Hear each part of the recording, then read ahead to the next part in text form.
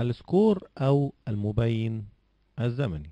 المبين الزمني هو نافذة تستخدم لضبط عرض الشاشات وترتيب ظهورها المبين الزمني يتكون من مجموعتين من القنوات.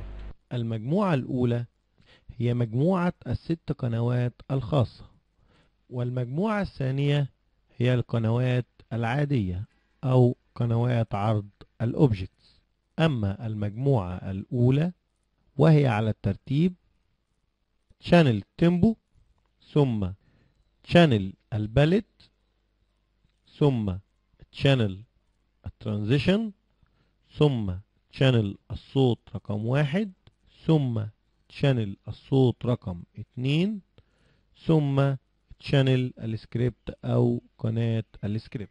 قاعدة عامة. عند النقر المزدوج في أي خلية تظهر لنا خصائص الخلية.